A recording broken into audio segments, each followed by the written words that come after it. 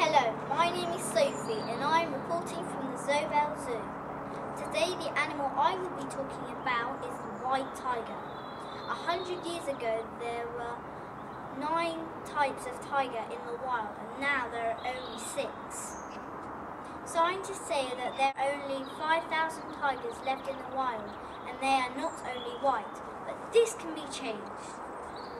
The reason that the tigers are dying in the wild is because illegal poaching has got popular and people buy parts of the tiger such as the bones and whiskers for medicines and the fur for coats and rugs.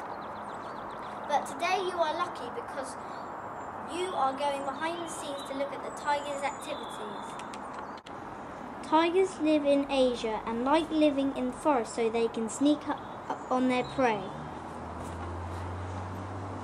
The white tiger hunts on its own and will eat wild pigs, wild cattle, and deer.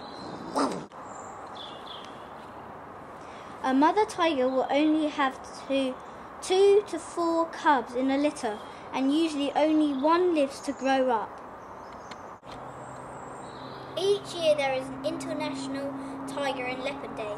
This year it is September the 27th. Maybe we could raise some money at school to donate or adopt a tiger for our school. And for thank you for my helper Millie that helped me record this film. I hope you enjoyed our tour. Please come visit again soon.